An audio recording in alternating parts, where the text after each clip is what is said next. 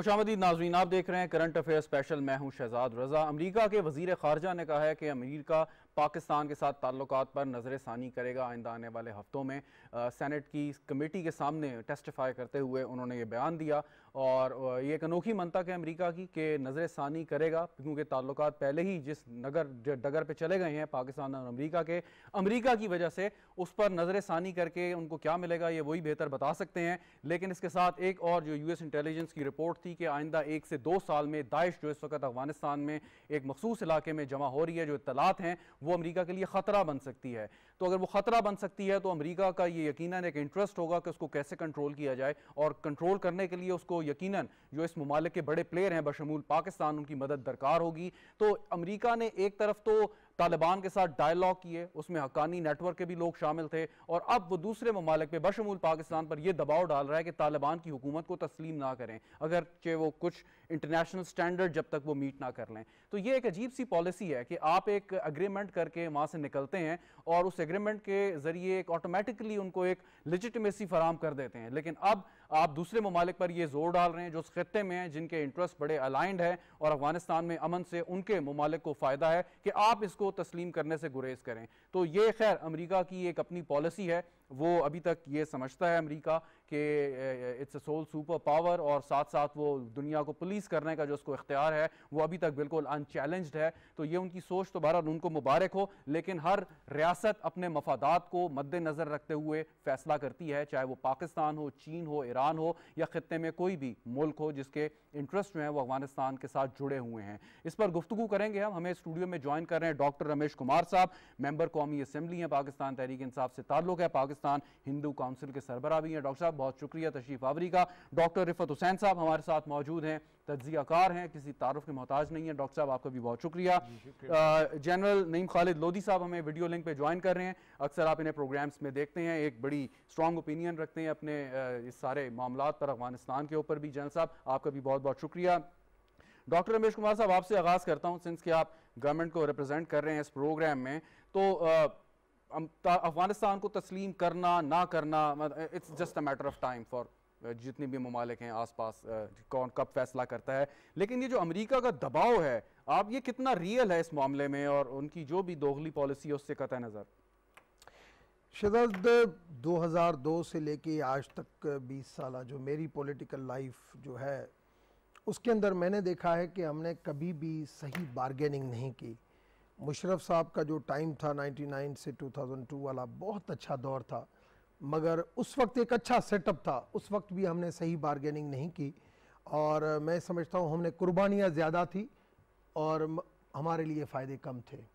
और ये एक हैबिचुअल सिस्टम बन गया और ये चलता गया चलता गया। मैं लास्ट वीक वाशिंगटन में था। मेरी कुछ मुलाकातें वहाँ पे हुई मैंने वहाँ पे माहौल देखा अमेरिका का। मैं समझता हूँ अब अमेरिका की ख्वाहिश के ऊपर हमारे लिए चलना बहुत मुश्किल है अब चलना। मगर डिपेंड करता है चाइना के ऊपर कि चाइना अफ़गानिस्तान को एक्सेप्ट करने वाला तालिबान हुकूमत को पहला मुल्क बनता है या नहीं बनता है।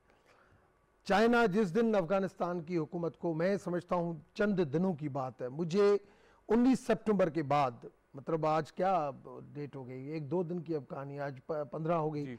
तीन चार दिन जो है ना इस दिनों के अंदर मैं समझता हूँ क्योंकि मैंने थोड़ा एस्ट्रोलॉजी भी देखी थी इस हवाले से। अच्छा। एस्ट्रोलॉजी के ऊपर मेरा एट्थ जुलाई को आर्टिकल जंग में भी आया था दी न्यूज़ में भी आया था। एट्थ जुलाई को जंग में आया था नाइन्थ जुलाई को दी न्यूज़ में आया था।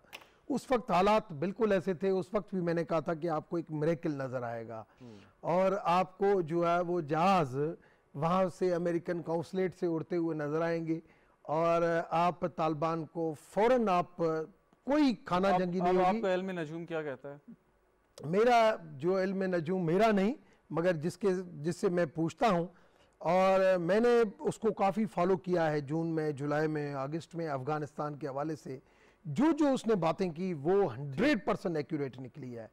और वही चीज़ें मैं देख रहा हूँ कि 19 सितंबर से जो है आपको अफ़गानिस्तान के अंदर और ज़्यादा बेहतरी नज़र आएगी। और मैं समझता हूँ कि चाइना जो है वो जल्द तालिबान हुकूमत तो हमें हमें हमें हमें चीन का इंतज़ार करना चाहिए। और देखिए ना ऐसे हमें पहल नहीं करनी चाहिए। हमें चाइना अगर उसको एक्सेप्ट करता है तो फिर जो है मैं समझता हूँ खिते के अंदर बहुत ज़्यादा जो उस लूप में है वो काफ़ी चीज़ें सामने आएँगी। right, अमेरिका की ये ज़रूर ख्वाहिश होगी कि हम जिस तरीके से निकले हैं और इस वक्त अमेरिका को बहुत सुनना पड़ता है कांग्रेस में भी रिपब्लिकन से भी और इवन वहाँ पे अवाम से भी कि इतने पैसे खर्च करके आप जिस तरीके से निकले हैं और बाइडन खुद के लिए मुश्किलातें पड़ गई हैं तो हम कम से कम अपनी फेस सेविंग के लिए जब तक अफ़गानिस्तान के अंदर तालिबान एक ह्यूमनिटेरियन माहौल नहीं बनाए तब तक आप उसको एक्सेप्ट नहीं करें और अगर एक्सेप्ट नहीं करेंगे तो अफ़गानिस्तान दिन ब दिन पीछे चलता जाएगा। वेरी ब दिन ब दिन पीछे चलता जाएगा तो अमेरिका कहेगा कि ये हमारे लिए मोहब्बतें बढ़ेंगी। और जिसके लिए मैंने एक प्रोग्राम भी देखा था जिसके अंदर सलीम साफी जैसा बंदा जो हमेशा अफ़गानिस्तान की तारीफ़ करता है वो भी कहने लगा कि काबिल के अंदर जब कंट्रोल था अमेरिका का तो उस वक्त वहाँ पे एक मीडिया का ऐसा माहौल था बाहर लोग घूमते थे अब वो माहौल नहीं है। तो मैं तो ये तो बुनियादी ज़िम्मेदारी तालिबान पे है कि वो अपने एक्ट को सही करें किस तरीके से उसके ऊपर भी है और साथ में जो ग्लोबल जो चेंज है क्योंकि हार्डलैंड थ्योरी क्लियर है। कि जो सेंट्रल एशिया के ऊपर राज करेगा वो दुनिया का फ्यूचर का सुपर पावर बनेगा। और चाइना को अगर इस लेवल पे आना है तो आज चाइना को मौका है। और चाइना मैं समझता हूँ ये बोल्ड डिसीज़न करने जा रहा है। ठीक, और चाइना अगर बोल्ड डिसीज़न करता है तो अकौम मुतदा में वीटो पावर उसके पास है तो इस वजह से उसके ऊपर फिर कोई सेंक्शन नहीं डल सकती। Good analysis doctor Ramesh Kumar साहब। डॉक्टर रिफत हुसैन साहब ये जो एंटोनी ब्लिंकन ने कहा है कि जी नज़र षानी ये नज़र षानी क्या चीज़ है? मतलब या तो ये ना कि ताल्लुकात बहुत ज़बरदस्त जा रहे हो, फिर उसको नज़र षानी किया जाए। जी, देखिए ये जो स्टेटमेंट आई है एंथनी ब्लिंकन साहब की, उसका एक डोमेस्टिक कॉन्टेक्स्ट भी है। हाउस फॉरेन रिलेशन के बाद उन्होंने सेनेट की फॉरेन रिलेशन कमेटी के सामने गए हैं और काफ़ी उनको हॉस्टाइल क्वेश्चंस को सामना करना पड़ा। तो उनको कुछ ना कुछ तो जवाब देना था ना जी, अपने उन लोगों से जो कि कंसर्न हैं। कि अमेरिका की विड्रॉल अमेरिका की ह्यूमिलिएशन और उसके नतीजे से पैदा होने वाली सूरत हाल को बाइडन एडमिनिस्ट्रेशन ने किस तरीके से हैंडल किया? तो उसके जवाब में उनको कोई ना कोई स्केप गोटिंग के लिए उनको कोई ना कोई बहाना चाहिए था। तो मेरे ख्याल के अंदर ये रियल पॉलिसी नहीं है, ये पोस्टरिंग के हवाले से बात हो रही है और वो जो डोमेस्टिक कॉन्स्टिट्यूंसीज हैं उनको सेटिस्फाई करने लेकिन की कोशिश स्केप स्केप गोट वाला मरला तो आप नहीं समझते गुजर गया है कि अगर आप कहते हैं जी कि अलकायदा जमा हो रही है नॉर्थ में और अमेरिका के लिए एक दो साल में खतरा है कोई मेन लैंड पे अटैक भी कर सकते हैं। सो उस सूरत में तो कौन उनकी मदद करेगा? या तालिबान कर सकते हैं या पाकिस्तान? मसला ये नहीं है। मसला ये है कि तालिबान के ऊपर जो वो प्रेशर डाल रहे हैं इस वक्त कि आप ह्यूमन राइट्स के हवाले से औरतों के हकूक़ के हवाले से मिनॉरिटीज़ के हवाले से और ख़ास तौर पर इंक्लूसिव गवर्नमेंट बनाने के हवाले से आपने कुछ इकदाम करने हैं और उन इकदाम के बाद हम ये फैसला करेंगे कि आपको किस किस्म की ले लेकिन ये डॉक्टर साहब डॉक्टर साहब लेकिन ये आपको एक मजाई का खेस बात नहीं लगती कि ये दबाव जो आप अब डाल रहे हैं कि जब आप अफ़गानिस्तान में तालिबान के साथ एक मुजाकरात करके एक एग्रीमेंट साइन कर रहे थे सो उस वक्त ये मुतालबात कहाँ थे? आपको पता था कि तालिबान ने टेक ओवर करना है। नहीं देखें उसके अंदर जो तालिबान के साथ उनकी अंडरस्टैंडिंग जो थी जो कि तालिबान ने अपने तौर पे उसको निभाया भी लेकिन अमेरिका को कतई ये बात इल्म में नहीं थी या वो एक्सपेक्ट नहीं कर रहे थे कि जिस तरीके से मेल्ट डाउन हुआ है अशरफ गनी की हुकूमत का और जो अफ़गानिस्तान की सिक्योरिटी फोर्सेस का उसको वो एंटिसिपेट नहीं कर सके और अमेरिका इस बात को तस्लीम भी कर चुका है तो उसके नतीजे में एक वायलेंट क्यास की सूरत हाल पैदा हुई। उसके बाद तालिबान जो हैं और अशरफ गनी साहब वहाँ से भाग गए और उनके ऊपर भी काफ़ी इल्ज़ाम हैं। लेकिन वो वो उस सारी सूरत हाल के पेश नज़र मैं ये कहूँगा कि ये वो टर्न ऑफ़ इवेंट्स है जिसको पाकिस्तान ने भी एंटिसिपेट नहीं किया था कि इतनी जल्दी वो है वो मामला जो हैं वो अमेरिका के हाथ से निकल जाएँगे। तो उस चीज़ को संभालने के लिए संभाला देने के लिए अमेरिका जो है वो इल्ज़ाम तराशी करेगा और वो पाकिस्तान को स्केप गोट इस वजह से कर रहे हैं कि उनका ख्याल ही है कि पाकिस्तान कहीं पहल ना कर दे और पाकिस्तान अगर पहल कर दे तो मैं अ, रमेश भाई की बात से इतफाक़ करता हूँ कि चीन का मैं I am not too sure कि चीन के उनके कुछ उनके कुछ मुतालबात हैं और वो कंडीशन बेस्ड जो है उन्होंने रखा है कि ईटीएम का करें आईएमयू का करें और वो भी दाइश के बारे में Very right, और- very right. के बारे हाँ, में इतने है। परेशान है ठीक बिल्कुल जनरल साहब कोई मुल्क किसी दूसरे मुल्क को तस्लीम करता है, ये उसकी सवाबदीद है, उसका एक इख्तियार है, उनके रियासत के अपने, उनके जो मफादात हैं। ये बात तो तय है कि तालिबान किसी भी जगह पे, खाली तालिबान नहीं, किसी भी दुनिया के मुल्क में हम यही आर्गूमेंट करेंगे आर्गूमेंट करेंगे कि औरतों के, माइनॉरिटीज़ के, उनके हकूक़ का ख्याल रखा जाए, इंसानी हकूक़ का ख्याल रखा जाए। अब तालिबान वह कौन सी हुकूमत लाते हैं? ऑल इंक्लूसिव गवर्नमेंट होती है डेमोक्रेसी है डिक्टेटरशिप है ऑटोक्रेसी है, ये एक अलग बहस है। तो इससे तो कंसर्न नहीं होना चाहिए। और ये बात तो उनको मालूम थी अमेरिका को कि अगर तालिबान आ जाएँगे तो किस किस्म की सूरत हाल होगी? तो क्या वो प्रिपेयर्ड नहीं थे? और अब ये इस किस्म की जो अजीब सी दलीलें दे रहे हैं इसका मकसद क्या समझते हैं आप? जी पहली बात तो मेरा ख्याल आप इस बात के गवाह हैं कि जो रमेश कुमार साहब जो सितारों के इनसे बता रहे थे मैं आपको एनालिसिस की बुनियाद पे बता रहा था। जी बिल्कुल। शुरू से ही कि कोई सिविल वॉर नहीं होगी कोई रिफ्यूजीज नहीं आएँगे कोई ब्लड शेड नहीं होगा।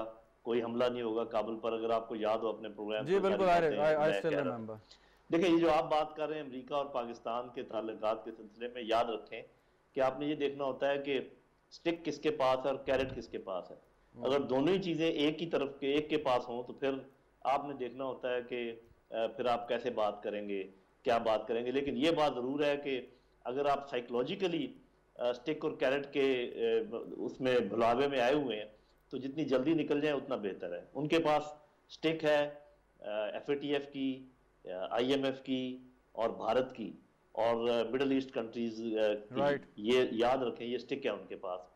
और कैरेट भी यही है कि आपको हम एफ़ से निकाल सकते हैं आईएमएफ आपके साथ ज़रा अच्छे कर सकता है मिडल ईस्ट से के सिलसिले में भी और इस किस्म की सारी चीज़ें। इसलिए उनको इस खत्ते में और कोई नज़र नहीं और वो किस पे किसकी बात करें? देखें एक उनको इतनी बड़ी सुबकी हुई है अगर उन्होंने पर्दा डालना हो तो आप ही बताइए कि क्या वो ईरान का नाम ले या रूस का नाम ले या चीन का नाम ले।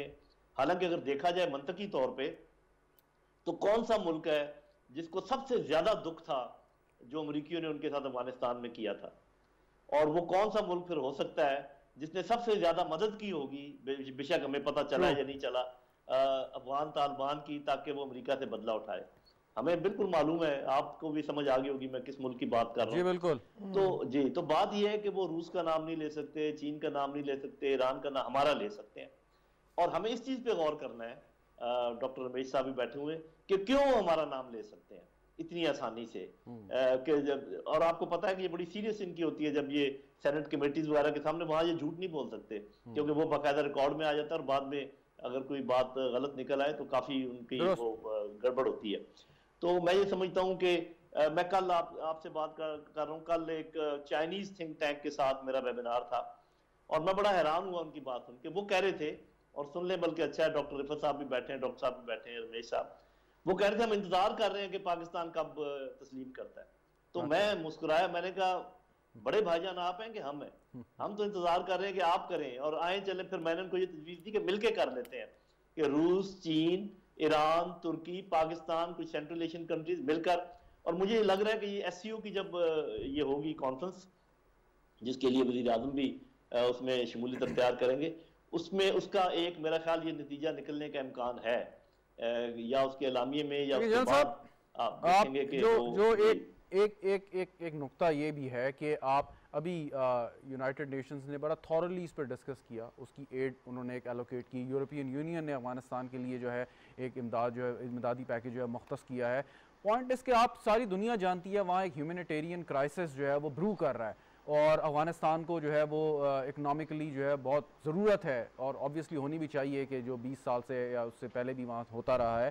तो रेकग्नाइज करना जो है ये एक बहुत ज़रूरी इसलिए भी है कि जो वहाँ इंसानों का मसला है तालिबान को छोड़ दें कुछ देर के लिए तो वो क्यों नहीं आप समझते कि आप सिर्फ़ और सिर्फ़ अपनी रियासत के मफादात देख रहे हैं अगर आपको वाकई इतना है कि आपने वहाँ से फुटबॉल टीम को भी निकालना है आपने वहाँ से अपने इंटरप्रेटर्स को भी लेके जाना है लेकिन वो जो करोड़ों अफगान अफगान जो वहाँ पे स्टक हुए हुए हैं उनको, उनके बारे में क्या ख्याल है?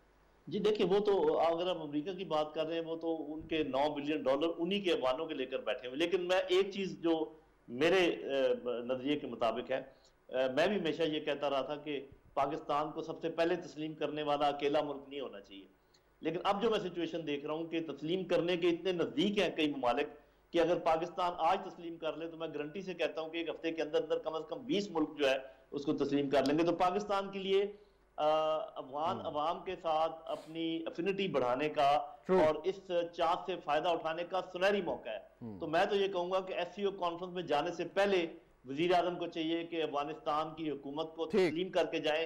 आप देखेंगे कि इसका कितना मस्बत असर होगा और कितने और लोग फौरी तौर पर इसको तस्लीम कर लेंगे तो बाद अपनी अहमियत पर भी गौर करना चाहिए। हम बार बार इधर देख उधर देख वो क्या कहेगा ये क्या कहेगा इस चक्कर में हम बहुत सारे चांसेस गंवा देते हैं। रमेश कुमार साहब, आपका इंटरेक्शन होता होगा अपने अफगान दोस्तों से भी। और पिछले 20 साल में जो एक जैन साजी की है, ख़ास तौर पे जो नौजवान कौम है अफ़गानिस्तान की, पाकिस्तान के ख़िलाफ़ बहुत ज़्यादा।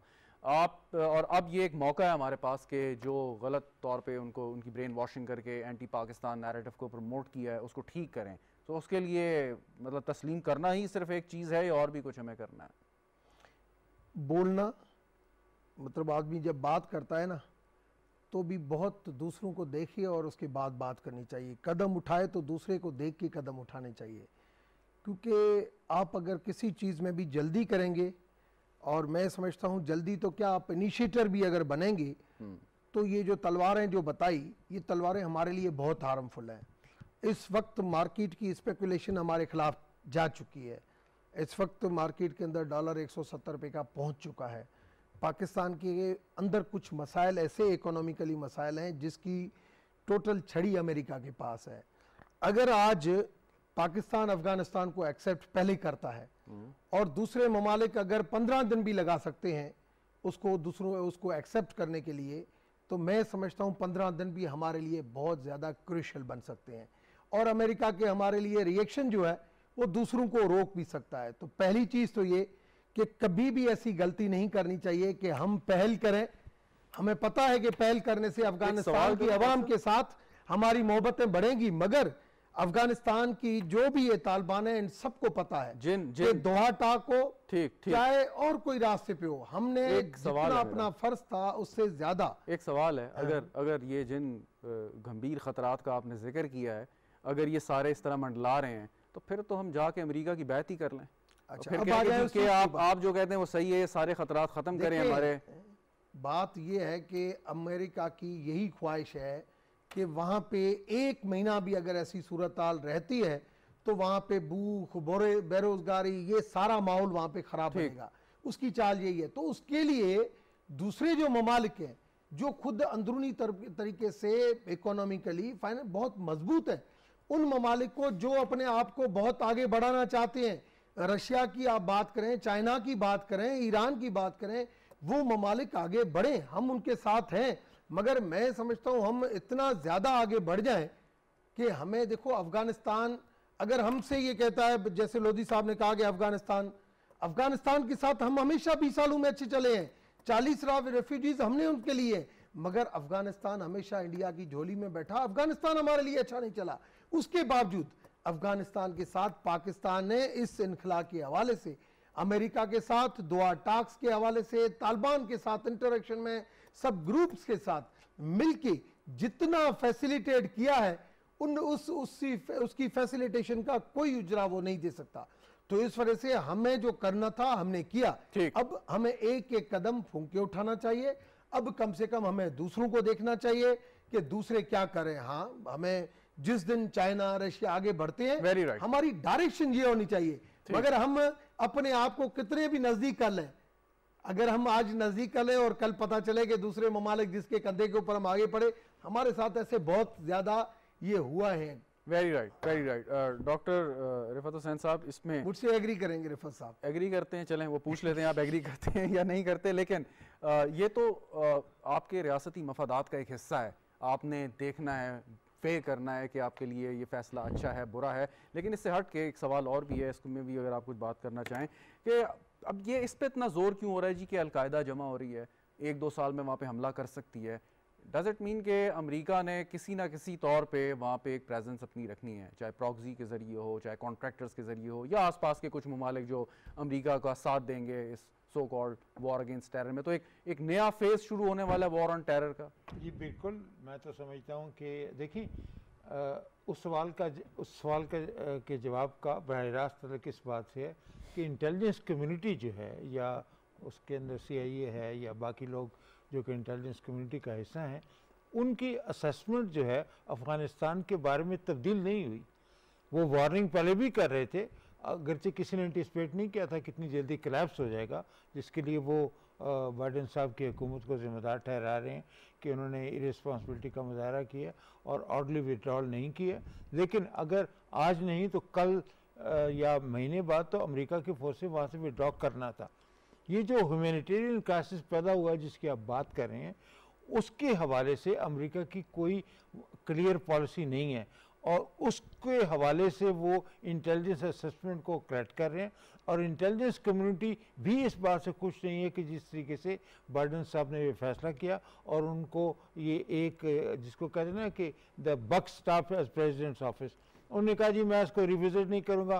फ्रायर वॉर का इरा जो है वो ख़त्म हो चुका है ब्ला ब्ला ब्ला तो उसके हवाले से इंटेलिजेंस कम्युनिटी अब ये कोशिश कर रही है कि अमेरिका की किसी तरीके से वापसी हो, अफ़गानिस्तान में इंटेलिजेंस कॉपरेशन के हवाले से, और उसके बारे में वो ख़तरात जो हैं, वो उनको बढ़ते हुए नज़र आ रहे हैं। और ये अमेरिका का ये सिर्फ़ खदशा ही नहीं है, ये अमेरिका की तरफ़ से फॉस्टिंग नहीं हो रही। इस बात का कभी इम्कान मौजूद है कि तालिबान ने अगर अपना रवैया दाश के बारे में और जो ग्रुप जो है वो पाकिस्तान को जो डायरेक्टली इफ़ेक्ट करते हैं टीटीपी की बात है आ, वो जेईएम की बात है तो वो सारे ग्रुप्स के बारे से अगर उन्होंने पॉलिसी चेंज नहीं की तो आपने देखा कि तालिबान ने क्या कहा जब हमने उनसे टीटीपी के आ, से तलक़ात को या उनको हमारे हवाले करने का मुतालबा किया तो उन्होंने कहा जी हम ये नहीं करेंगे ये आपका और इस्लामाबाद का अंदरूनी मामला है।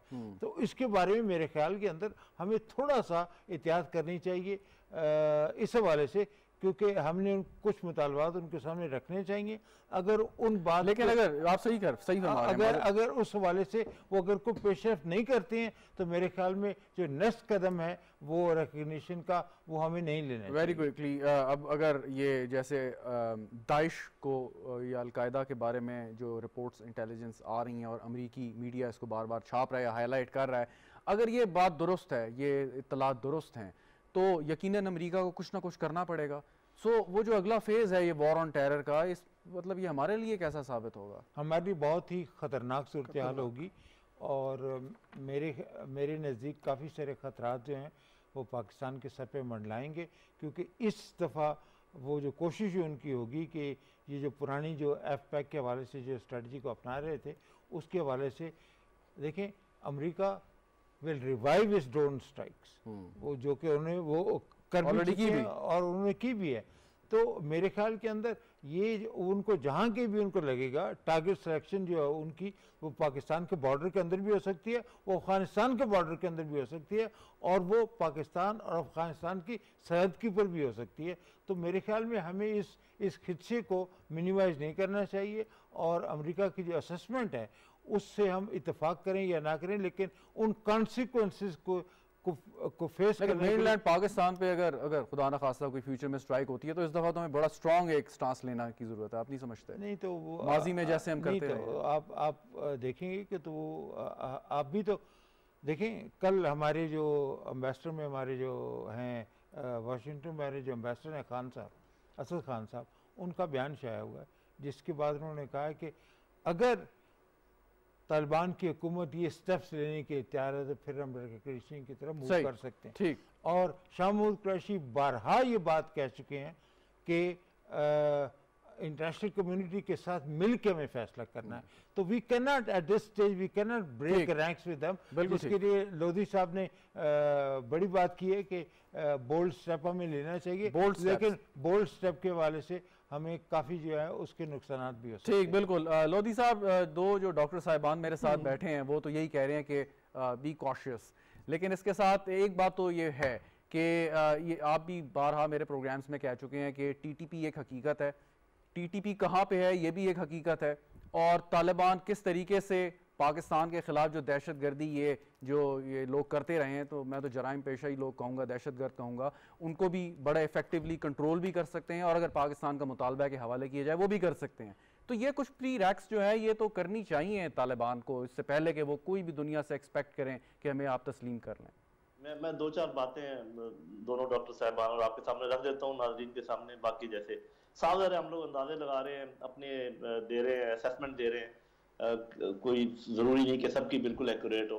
और मैं तो मानता हूँ कि चूँकि ये इंटरनेशनल रिलेशंस के उस्ताद हैं वो पॉलिटिक्स के उस्ताद हैं तो मैं तो इन दोनों से इतना मैं काफ़ी नाबलद हूँ इस सिलसिले में। देखिए पहली बात ये है कि अमेरिका की इंटेलिजेंस असेसमेंट पहले कितनी सही निकली है अफ़गानिस्तान के बारे में? मैं इसका जवाब आपसे नहीं लेता। आप अपना जवाब रखें अपने पास दिल में रखें। दूसरी बात दाइश के अफ़गानिस्तान में आने के सिलसिले में क्या कहा था हामिद करजई ने? क्या कहा था ईरान ने? क्या कहा था रशिया ने? कि ये लोग इन्हीं के लाए हुए हैं, अमरीकियों के लाए हुए अरे भाई, जो चीज़ें साबित हो जाती हैं, साफ़ सामने हो जाती हैं, उनसे तो आप आगे पीछे ना हो ना। गलत साबित हुई है असेसमेंट अमेरिका की, बल्कि बहुत ही गलत साबित हुई है।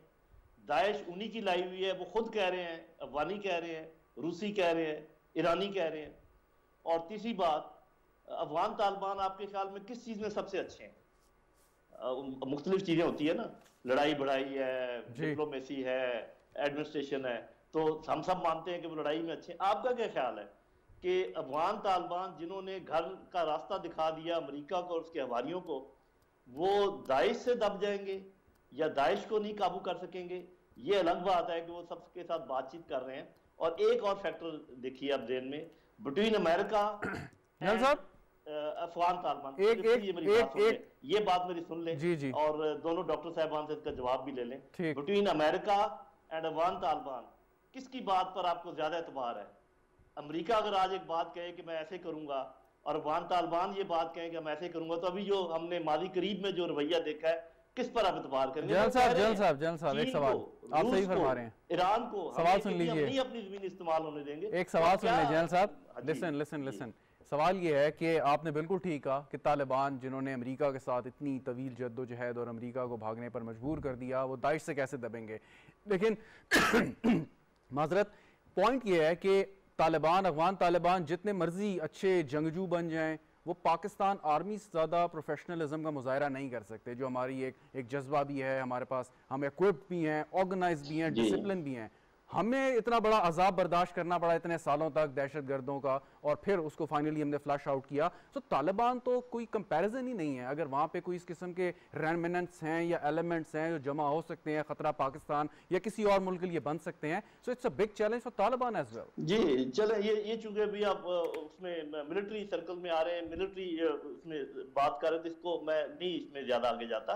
देखें, तालिबान और किस्म का आउटफिट है, और ऑर्गेनाइज मिलिट्री और किस्म का आउटफिट होती है।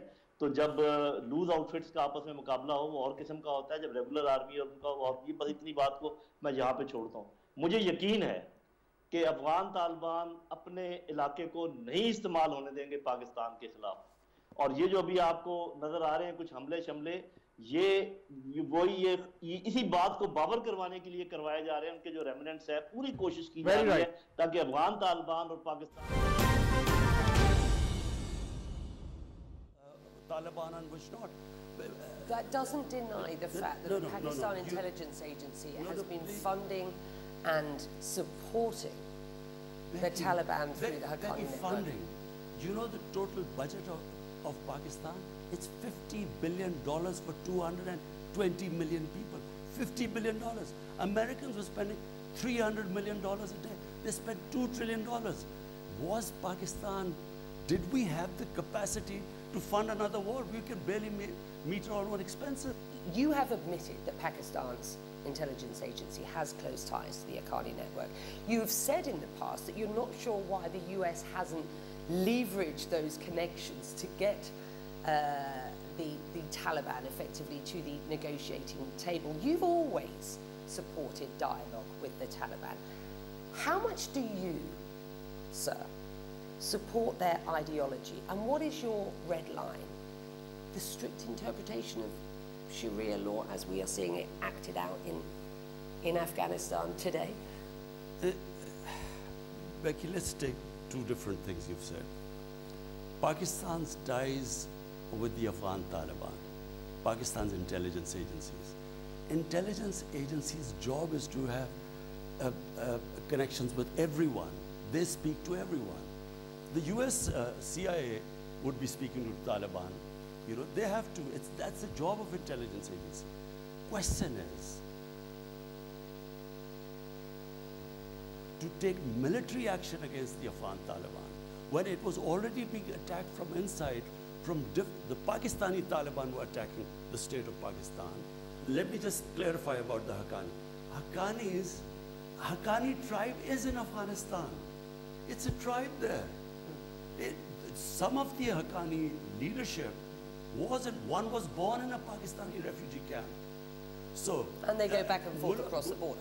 There were, uh, there is no border. There was never any border. But Becky, have you got any choice right now? Now tell me, if you do not back this government and, and do not help the people of Afghanistan right now, it's not a question of people of Afghanistan, uh, uh, Taliban, it's people of Afghanistan. If we, the world international community does not help them, what choice have we got? How would you qualify the US-Pakistan relationship today? And what sort of relationship do you want to see with the US? Uh, unfortunately, you know, our relationship during this whole, uh, the US occupation of Afghanistan uh, was a terrible relationship. It was, the US said we are paying Pakistan, you know, and they paid us $9 billion for civilian aid and 11 billion for military aid and they said, we're paying you. And, and so we, are, we were like a hired gun. In Pakistan, people, I'm not talking about the leadership because I think we were let down by our leadership. The people felt that here by joining the US, we had these bombs going on everywhere. Uh, Benazir Bhutto was killed because of that. Um, uh, our economy tanked. I mean, we have 150 billion dollars plus we lost to the economy. What I would like a relationship with the US is now, like, like the US has a relationship with India. You know, not one-dimensional relationship where they're paying us to fight. We want a, a normal relationship. I promised to ask you about the risks to Pakistan's national security the situation in Afghanistan doesn't improve. So explain what you believe those risks are and just how concerned you are at present. The biggest concern are refugees. The biggest concern are refugees. We already have 3 million refugees in Pakistan. Uh, we cannot, a country cannot afford more refugees. We have come out of a very difficult economic situation. We cannot take more refugees. The second worry is terrorism we had three sets of terrorism, uh, terrorists in Afghanistan using the soil to attack us. ISIS, Afghan, uh, Pakistani Taliban, and the Baloch terrorists. So if there, if there is chaos in Afghanistan, if there's not stability there, then we have these two major problems looming in front of us. We are the country that is going to suffer the most. It's Pakistan's Prime Minister Imran Khan and there is more of that interview over the next uh, hour or so. My next guest says, quote, at this juncture, Pakistan's own position needs to be fine-tuned to be ably articulated. Pakistan's policymakers occasionally demonstrate a वज़ी अजम इमरान खान का C N N को खसूसी interview वज़ी अजम इमरान खान ने कहा कि हम खातन को बाख्तियार बनाना चाहते हैं। आलमी बरदरी ने अगर अफ़गानिस्तान की सूरत हाल पर तवज्जो नहीं दी तो बहरान पैदा होगा। खातन को अपनी सलाहियतों के मुताबिक माशरे में काम करने की इजाज़त होनी चाहिए। वज़ी अजम इमरान खान का कहना है कि तालिबान इस वक्त अफ़गानिस्तान में हुक्मरान है। अफ़गानिस्तान तारीख के दोराहे पर खड़ा है। हम खातन को तालीम के ज़रिए बाख्तियार बनाना चाहते हैं। पीटीवी न्यूज़ से फिल इतना ही। दीगर खबरों या उनकी तफसील के लिए विज़िट कीजिए PTV dot com dot P K देखते रहिए पीटीवी न्यूज़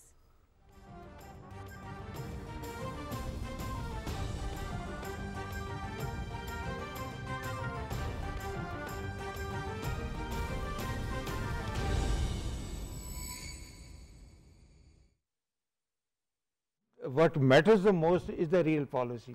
अब अफ़गानिस्तान की क्या मजबूरी है कि वो इन लोगों को जिनको जो कि उनकी हुकूमत के अंदर भी शामिल है। उसके अंदर बहुत से ऐसे लोग हैं हकानी नेटवर्क के जो साहब हैं या उनका जो जो चीफ ऑफ़ आर्मी स्टाफ है वो वो सारे के सारे दे आर नोन और इवन ये जो उनके जो हेड ऑफ़ द गवर्नमेंट हैं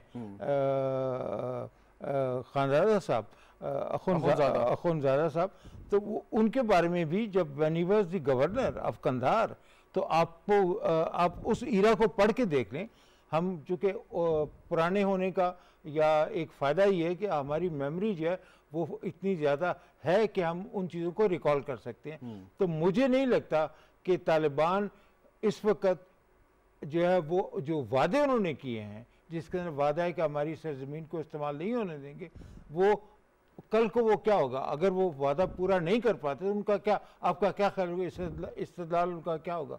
वो ये कहेंगे कि हमारे पास तो रिसोर्स ही नहीं है हमारे पास वो कंट्रोल ही नहीं है। तो हम अपनी सेंचुरीज को किस तरीके से अपने खिलाफ इस्तेमाल भी कर सकते हैं? उसका, उसका हल जनरल साहब ने बता दिया ना जब दो लूज ग्रुप्स आपस में टकराते हैं तो इट्स डिफरेंट बॉल गेम नहीं, नहीं, देखिए मुझे मुझे एक बात कह लीजिएगा उसका उसके लिए पाकिस्तान के पास इलाज क्या है? अगर पाकिस्तान ने अपने मफादात का तहफ़ करना है और Pakistan has to nip this evil in the bud तो उसके लिए Pakistan must reserve the right of hot pursuit inside Afghanistan अगर अफ़गानिस्तान के तालिबान जो हैं, वो उन एक्शन ग्रुप के खिलाफ एक्शन नहीं कर सकते लेकिन हमारी हुकूमत डरी हुई है कि तालिबान जो हैं, उनको जिस तरीके से सिल्वर प्लेटर के अंदर हुकूमत मिली है, वो उन्होंने कांकर नहीं किया। मैं ये कहूँगा कि उन्होंने वार ऑफ़ पोजिशन की है और वार ऑफ़ पोजिशन के नतीजे में प्रेशर इतना बड़ा इतना बिल्कुल ठीक। मैं एक मिनट रोकना चाहूँगा। मुनीर अकरम साहब हमारे साथ मौजूद हैं पाकिस्तान के मुस्तकिल मंदूब न्यूयॉर्क में। बहुत शुक्रिया मुनीर अकरम साहब हमें ज्वाइन करने का। वेरी क्विकली जी ये जो यूएस सेक्रेटरी ऑफ़ स्टेट ने जो सेनेट कमेटी में बात की है कि नज़र सानी ये थोड़ा सा ज़रा हमें समझाएँ कि वो अमेरिका किस किस्म की अपने ताल्लुक पर नज़र सानी चाहता है पाकिस्तान के साथ? जी मेरे ख्याल में वो तो उनकी सेनेट की हियरिंग थी तो उन्होंने अब वो सेनेटर्स को चुप कराने के लिए जो कुछ उन्होंने कहा है वो कहा है जहाँ तक कि हमारे हमारे जो ताल्लुकात हैं उस पर तो हमारी मुजाकरात चल रही हैं इनके साथ और हम देखते हैं कि काफ़ी एरियाज़ में हमारी कन्वर्जेंस इंटरेस्ट हैं दहशत गर्दी जो अफ़गानिस्तान से हो रही है उसको रोकने में हमारी कन्वर्जेंस इंटरेस्ट है। आ, और अफ़गानिस्तान को स्टेबलाइज करने में हम हम समझते हैं कि सबके हक में है कि अफ़गानिस्तान में अमन आए। तो इसमें आ, मेरे ख्याल में अभी तक अमेरिका के साथ हमारी बातचीत जारी रहेगी और जो हमारी कन्वर्जेंस इंटरेस्ट हैं उसको हम प्रमोट करेंगे और कोई हम प्रेशर वेशर में नहीं आने वाले हैं। इस पे मेरे ख्याल में बहुत हमने साफ़ पोजीशन दी है। हमारी पोजीशन हमारी इंटरेस्ट बहुत साफ़ है क्लैरिटी है और जहाँ कन्वर्जेंस होगी उसको प्रमोट करें तो अमेरिका का सर ये कहना कि जब तक तालिबान कुछ ऐसी प्री कंडीशंस जो हैं, उनको पूरा ना कर लें, उस वक्त तक दुनिया को बशमूल पाकिस्तान की हुकूमत को तस्लीम नहीं करना चाहिए। ये कितना जायज़ मुतालबा है कि हर रियासत ने अपने मफादात को देख कर फैसला करना है इस बारे में? देखिए हाँ वो सही है, वो ये तो उनकी, ये तो उनकी पोजीशन है, ये उनके व्यूज़ हैं। हमारे खुद की जो पोजीशन होगी, वो हमारी नेशनल इंटरेस्ट जो रख के हम डिटरमिन करेंगे। हम भी चाहते हैं कि अफ़गानिस्तान में अमन हो और वहाँ एक हुकूमत हो जो अमन ले आ सके। और जो बाकी जितने जो वहाँ ग्रुप्स वगैरह हैं उनको रिकन्सिलिएशन करके साथ में ले आकर करें। तो ये ये ये तो एक कॉमन सेंस है कि अफ़गानिस्तान में अमन ले आने के लिए वो रिकन्सिलिएशन आपस में नहीं करनी चाहिए। वो भी हम हम भी चाहते हैं। पर रिकग्निशन जहाँ है वो हम खुद अपने आप पे असेस करेंगे। कि जी हम किस वक्त रिकग्निशन दे सकेंगे या नहीं दे सकेंगे वो हम खुद नेशनली डिटर्मिन करेंगे। लोग दूसरों लोगों की पोजीशंस होंगी उनकी ओपिनियन जो भी हों हमने तो अपनी खुद असेसमेंट करनी होगी और फिर हम नेशनली डिटर्मिन असेसमेंट करेंगे। अच्छा सर एक चीज़ और, वो ये कि अभी यूनाइटेड नेशंस ने यूरोपियन यूनियन ने इमदादी पैकेजेस का ऐलान किया है अफ़गानिस्तान के लिए। और आपके ख्याल में अगर दुनिया तालिबान को फौरी तौर पर तस्लीम नहीं करती तो एक जो ह्यूमनिटेरियन क्राइसिस अफ़गानिस्तान में उभर रहा है, उसको ठीक करने में मुश्किल नहीं होंगी? जी देखें वो यूनाइटेड नेशंस की जो जितनी एजेंसीज हैं उन्होंने तालिबान की जो हुकूमत है उनके साथ मुजाकर किए हैं। उनके साथ उन्होंने अंडरस्टैंडिंग की है अरेंजमेंट की हैं। तो मेरे ख्याल में वो ऑपरेशनली तो जो इमदाद पहुंचानी है उसकी ऑपरेशनल अरेंजमेंट्स तो वो कर रहे हैं। और वो रिकग्निशन हो या ना हो उस, उसके बावजूद वो ह्यूमैनिटेरियन असिस्टेंस पे कोई कंडीशनैलिटी नहीं होती है। तो ह्यूमैनिटेरियन असिस्टेंस तो पहुँचा देंगे।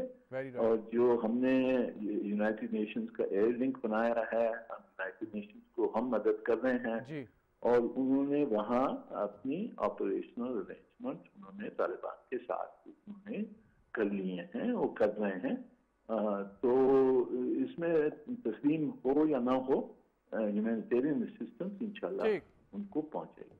बहुत बहुत शुक्रिया मुनीर अकरम साहब, आप हमारे साथ मौजूद थे। जनरल साहब, आपने मुनीर अकरम साहब की बात यकीनन सुनी होगी।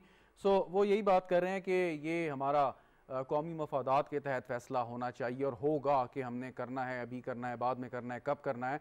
सो, इससे कोई भी मुल्क है, उसकी अपनी पोजीशन है, वो प्रेशर डालेगा आप पे, लेकिन फ़ैसला आपने करना है। जनरल साहब, कोई बिल्कुल ठीक बात कर रहे हैं और दुरुस्त बात कह रहे हैं और मेरा अपना ख्याल है कि पाकिस्तानी हुकूमत की पॉलिसी है भी यही। अगर हम देखें, ठीक है, आपको प्रेशर नज़र आएँगे। प्रेशर तो वो डाल सकते हैं, और आप भी जानते हैं, हम भी जानते हैं डॉक्टर साहबान को पता है कि बड़ा प्रेशर तक डाल सकते हैं। मैं अंदर थोड़ा सा एक सवाल पूछना चाह रहा था, आपने नहीं पूछने दिया। आपको पूछना चाहिए था कि उनके ख्याल में एक्सीलेंसी के ख्याल में, अमेरिका और पाकिस्तान के अफ़गानिस्तान में कौन से ऐसे इंटरेस्ट हैं जो कि, जो बार बार कह रहे थे कि जो हमारे इंटरेस्ट कॉमन है, उसमें हम आपस में तावन करने को तैयार हैं। तो भी डॉक्टर साहबान दोनों बैठे हैं। इनसे काइंडली पूछिए कि कौन से इंटरेस्ट इन, इनके ख्याल में कॉमन है चलें फाइनल फाइनली फाइनली जी बिल्कुल। वैसे मुनीर अकरम साहब ने ज़िक्र भी किया। पहले वाले सवालों के भी जवाब नहीं आए। अच्छा वो मैंने तो दे दिए जवाब सर। उसके लिए कोई अलहदा हम रख लेंगे मैंने कमी है। मोदी साहब मैंने मेरी ज़रूरत की आप नहीं मैंने एक सवाल मैंने एक सवाल पूछा था कि आपको किस पे एतबार है? अमेरिका पे या अफ़गानिस्तान रमेश कुमार साहब आप ये जवाब दीजिए डॉक्टर साहब आपके देखिए कौन से हमारे देखिए मैं समझता हूँ कि हमें जो ना अपने आप के ऊपर एतबार होना चाहिए। ठीक है।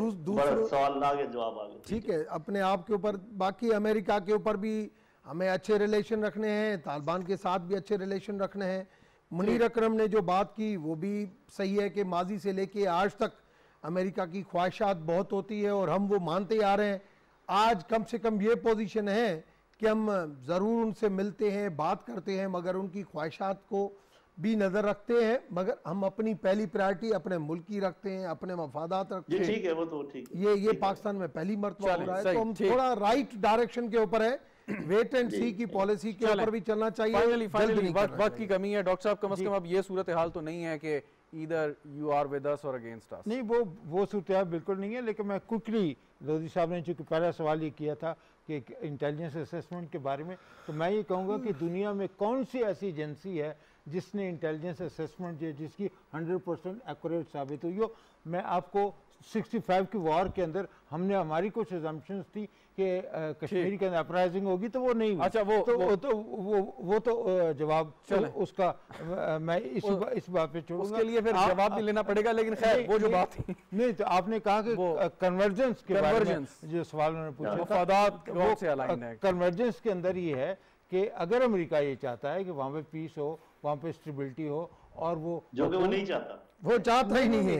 नहीं सर ये तो अजम्पशन है ना ये तो अजम्पशन है। हम बड़े अरसे से हम बड़े अरसे से नहीं नहीं हम बड़े अरसे से ये सुनते आए थे कि America wants doesn't want to leave Afghanistan but you know they had to leave under pressure तो वो भी एक असम्पशन जो है हमारे बारे में अमेरिका के बारे में वो असेसमेंट जो है वो हमारी मुफादात कॉमन कौन से हैं? मुफादात कमात एक भी नहीं है एक भी नहीं है। नहीं देखिए peace and stability and the establishment of an inclusive government जिसके अंदर सारे भी स्टेक होल्डर्स हो इसमें अमेरिका और पाकिस्तान के दरमियान किसी किस्म का कोई कोई इख्तिलाफ नहीं ठीक हो गया। बहुत बहुत शुक्रिया जल साहब वक्त की कमी है लेकिन आपका पॉइंट ऑफ़ व्यू भी आ गया कि आप कहते हैं कोई नहीं है। डॉक्टर साहिबान की थोड़ी मुख्तलिफ़ ओपिनियन है इस पर एक और। मफादात मफादात एक एक मफादात ये है कि अमेरिका चाहता है कि पीस हो मगर अगर पीस हो तो उसके अंदर हम उनकी उनकी उनके इनका उनका रोल ज़्यादा। उनका रोल ज़्यादा। चलें हमें आगे चलें। So we have three opinion three opinions लेकिन बहरहाल बहुत बहुत शुक्रिया आपका डॉक्टर रिफत हुसैन साहब डॉक्टर रमेश कुमार साहब